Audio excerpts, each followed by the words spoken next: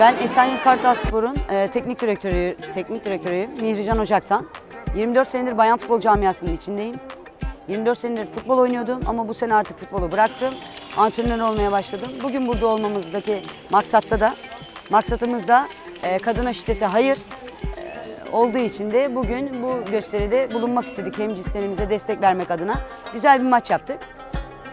Seyredenlere hoş bir görüntü verdiğimizi düşünüyorum. E, Yıllardır zaten kadınlarımız şiddete maruz kalıyor. Artık bunların son bulmasını istiyoruz. İnşallah son bulur. Bu yüzden de buradayız.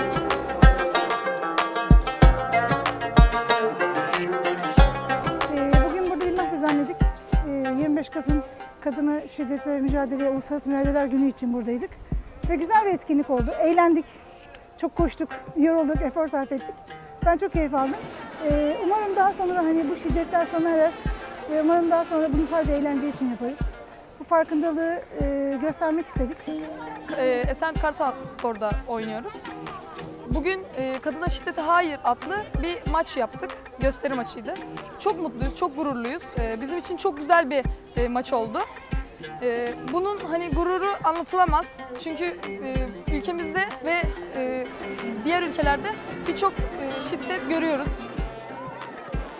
E, farkındalık ve kadına şiddetle ilgili e, biz de bir nebze elimizin altına biz de elimizi altına atmak istedik bir konuya.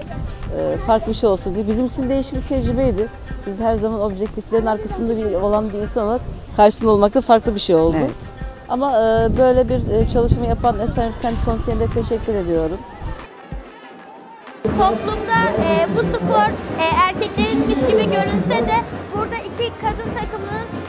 futbol oynaması beni gururlandırıyor.